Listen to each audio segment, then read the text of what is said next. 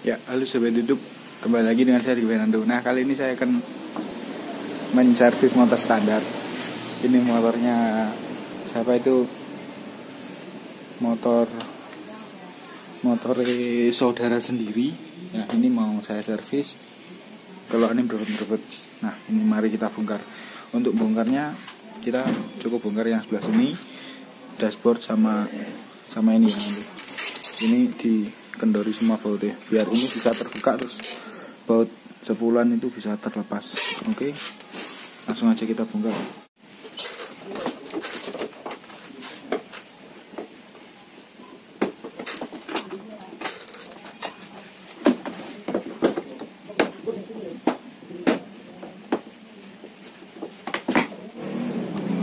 Nah sudah nampak seperti ini langsung aja kita bongkar throttle-nya. Langsung kita bongkar throttle ini sama manifoldnya ya. Ini kita lepas untuk selang bensinnya.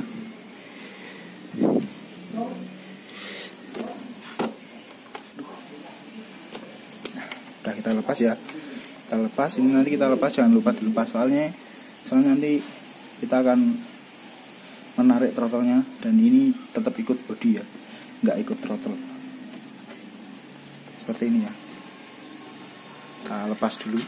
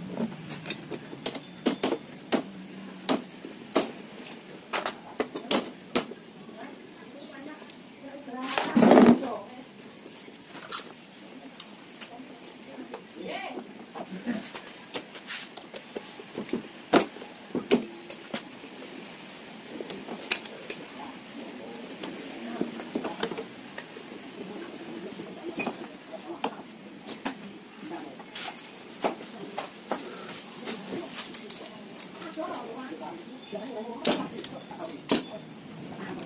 看什么？看什么？看什么？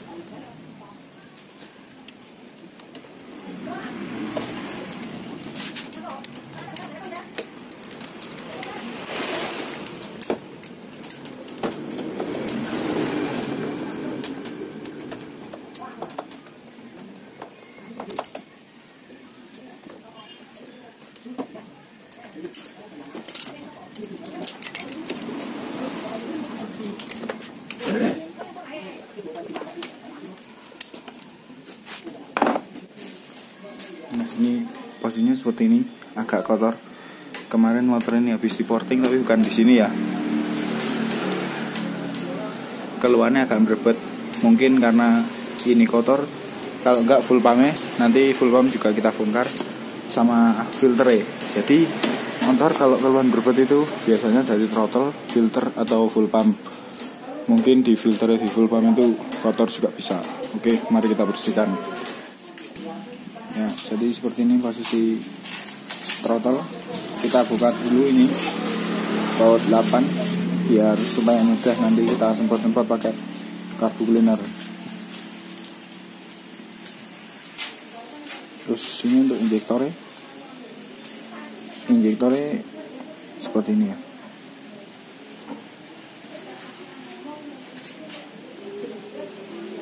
Ini total lubangnya ada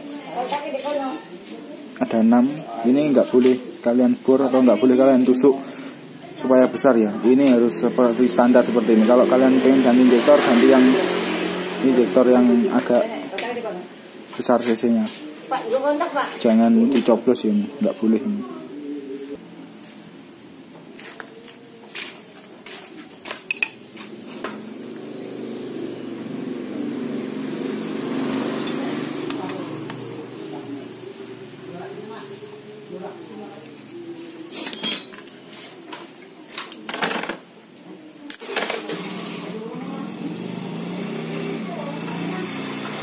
kita copot dulu ini karena takutnya nanti molor. Langsung aja kita semprot semprot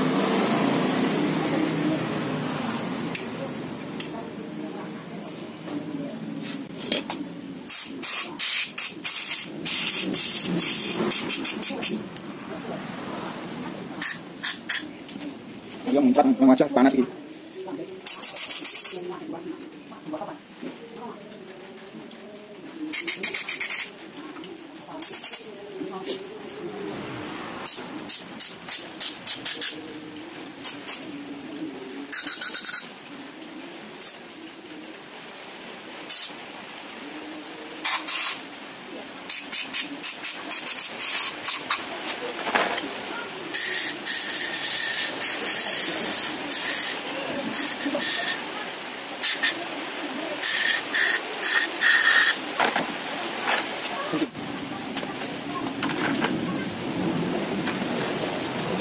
Ya, ada nih, ini kan buka kan.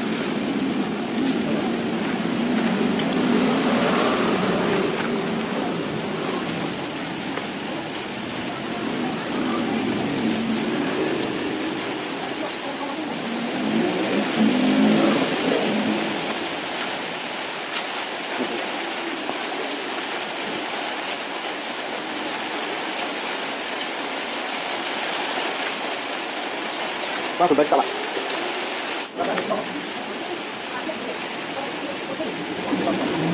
Hindi, bilang sama dito. Panagin. Hindi man to.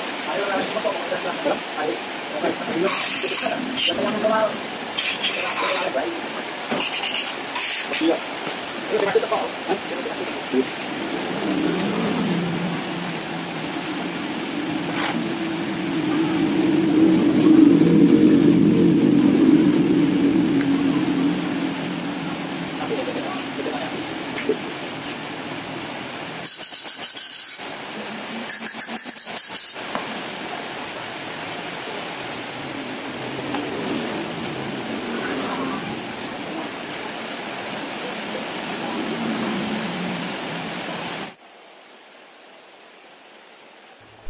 Ya ini karena filternya kotor banget. Jadi saya lubangi Tiga lubang supaya udaranya nggak terhambat seperti itu ya. Terus karena orangnya juga tak kabari nggak ngasih kabar baik Jadi tetap filter, filter lama. Terus ini posisi hujan jadi suaranya tak dubbing. Ya ini pemasangan untuk injektornya untuk karet kecilnya jangan lupa supaya nggak bocor. Nah kita pasang. Kalau kalian membukanya injektor itu agak susah bisa kalian kasih stempet atau grease untuk pemasangannya biar nanti kalau kalian buka lagi itu agak mudah Nah sekarang kita lanjut bongkar full pump. Untuk full pumpnya cara bongkarnya mudah ya. Tempatnya nggak begitu apa ya nggak begitu ribet. Jadi nanti kalau penggantian filter kita nggak begitu ribet sih. Tinggal buka empat baut dan cover penutupnya itu cuma dua baut sama satu buah klem-kleman kita buka full pumpnya. Kita cek saringan udaranya apakah layak pakai atau tidak layak. Nah seperti ini kondisinya teman-teman. Sebetulnya ini udah nggak layak pakai sih. Sebetulnya minta diganti cuman karena seperti tadi kabar baiknya belum ada kita pakai dulu lah. Sementara untuk selamanya. Hehe nah kita coba semprot pakai carbo cleaner sambil diperes-peres atau kalau kalian punya kompresor bisa kalian semprotkan untuk pelepasan itu untuk saringan full pump. Kalian cukup putar saringannya terus kalian lepas. Udah gitu aja. Mudah kok. Ya setelah dirasa sudah bersih kita kembalikan ke dalam tangki sesuai posisi awal ya.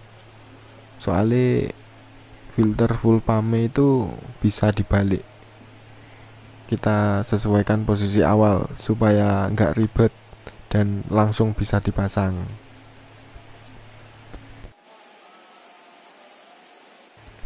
Ya setelah itu kita lanjut pasang throttle body sesuai posisi awal. Dan jangan lupa untuk memasang kabel atau sentring gasnya terlebih dahulu karena biar nggak kesusahan kita nanti kalau terlanjur pasang throttle kita pasang dulu untuk sentring gasnya